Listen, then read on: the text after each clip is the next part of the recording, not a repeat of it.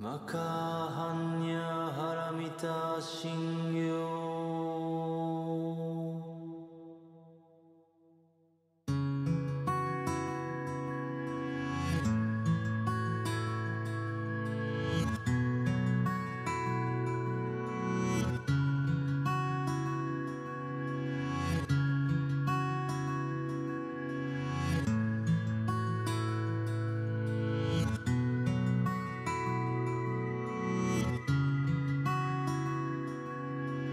さて時は遡ることは鎌倉時代は後期の第94代五二条天皇は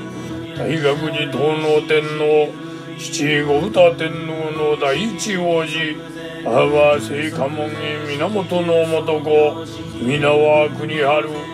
法安9年1286年10月親王宣言永仁6年1298年7月持病院等の伏見天皇に代わってその子のご伏見天皇が立つと翌月皇太子となる平安3年1301年1月には早くも戦争。この時期行為は2つに分かれた持病院と大覚寺等の間で争われており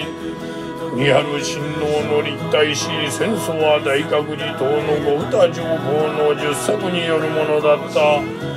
五歌情報は大覚寺等の後継ぎとして二条天皇に期待をかけたが同天皇は創生。その結果後醍醐天皇の登場に道が開かれた。1308年徳治3年8月の25日。崩御なされました。重ねては鎌倉時代の僧平尊上人は立宗中高の僧大和の国の生まれて浅野は支援京都大悟寺で出家し真言を学ぶが戒律の後輩を嘆き復興を目指して海順をもとに指示定2年学長らと東大寺で自生受会し熊戸の国西大寺を拠点に各地で受会小深草上皇や北条氏らの帰依を受けさらに受会の者は否認古事記にまで及んだという。殺生を禁じ橋の修復などを行い弟子の認証らと共に貧民救済に尽力した。作に関心学習記関東元気などを表し没後交渉菩薩の死後が送られた1290年昭和3年8月の25日去年90歳にてご宣言なされました。重ねては南北朝から室町時代にかけての臨済宗の前奏宇宙宗教禅師は犬の国の生まれ13歳で無双祖籍のもとに出家。適合4年広告2年1341年原国へと渡り執級軽量のもとに指示してその方を継ぐ。帰国して宇宙派を起こし長治4年昌平20年1365年に後の国は丁寧寺の十字にまた欧米4年1391年には秋の国に仏通寺を改装して宇宙派の二大本寺とした。応永14年将軍足利義持に招かれ専用豪徳著作には陸陽章などを表した。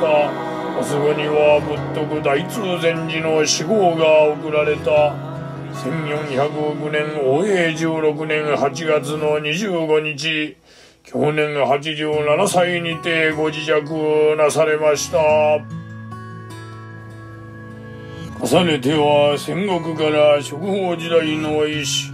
宝井随作殿は意味名は三成別号には二代ロアンと号した。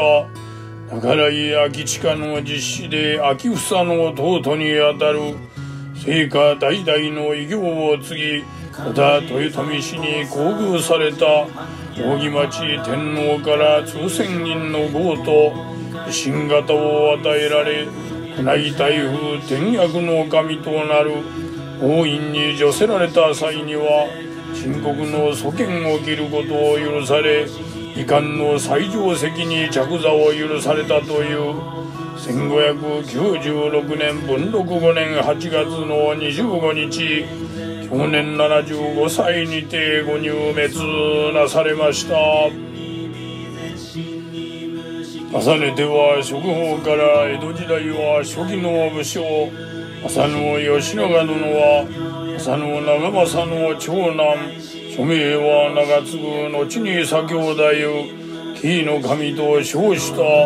豊臣秀吉に仕え1593年文禄2年大の国16万石を与えられ当年文禄の駅で朝鮮に従軍95年文禄4年豊臣秀次事件に連打して能登に流されたが間利家らの球界で罪を免れ91年慶長2年慶長の駅で再度朝鮮に従軍。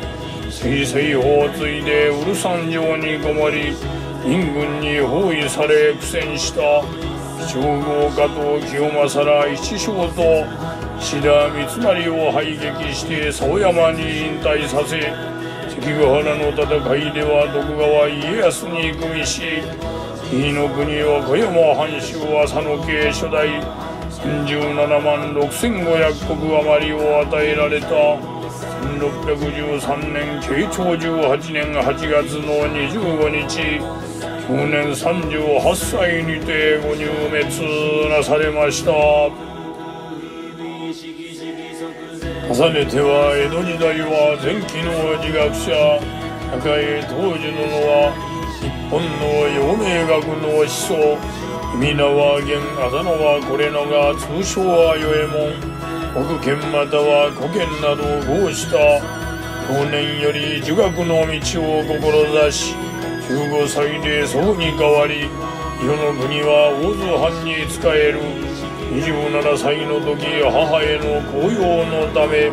一死を願い出たが許されず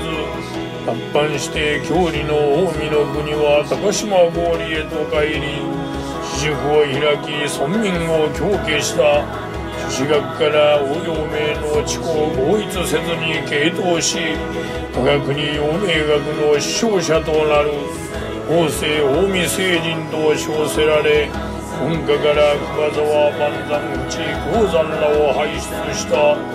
ザ国は沖縄問答東京啓蒙大学校などを表した。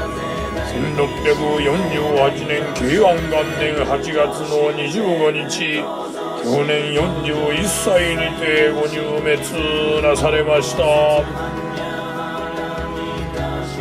重ねては江戸幕府は第10代将軍徳川家治殿は9代将軍家重の長男母は河の方四神人。法名は竹千代送り名は春明院。幼少から名便で祖父の八代将軍吉宗に期待され学芸に長寿以後将棋も巧みだったという1760年法力10年父の譲りを受け将軍となるそば用人の田沼を継ぐが重用されいわゆる田沼時代と呼ばれ積極的な重症主義政策が行われ産業文化が交流した反面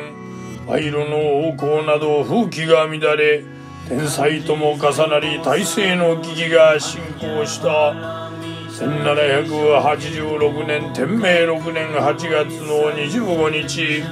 去年50歳にてご入滅なされました。重ねては江戸時代は後期の歌人菅沼綾子殿は一中の国岡山の出身本姓は北村綾子は意味なあだ名は死へ通称はこのもまたは頼も路上または桔梗園などと合した。京都の香川歌劇に学び啓門十鉄の一人文政元年歌劇に従って江戸に赴き敬遠派を広めた土佐国は袖比べなどを表した1834年天保5年8月の25日去年49歳にてご入滅なされました。重ねては幕末から明治時代の神道家島千草犬は陛下は代々駿河の国吉川村の農家皆は名画通称は仁太郎名のいい有年に学ぶ信号は勝海舟大久保一王からの信頼によって名主役運勢型付属となり民政に協力した明治12年久能山東照宮士官に18年高典高級文書長を務めた1887年明治20年8月の25日去年72歳にてご起用なされました。重ねては幕末期の尊上運動家中地信俊殿は尾張の国名古屋藩士。本姓は岡本通称は栄之助または権右衛門。京都の中に信抜の養子となる。春日千願に陽明学を学ぶ。本教二年島津久光の公部合体策を朝廷に仲介。西郷隆盛らと交流があった。新号大日本農会に関係した。1892年明治25年8月の25日去年70歳にてご逝去をなされました。最後に本日の本期日をお迎えになられました。歴史の陰に隠された名もなき全ての戦時尊領からの大いなる恩恵により現代を生きる我々の血肉となり魂の継承をさせていただいていますことを心より感謝をいたします。合唱。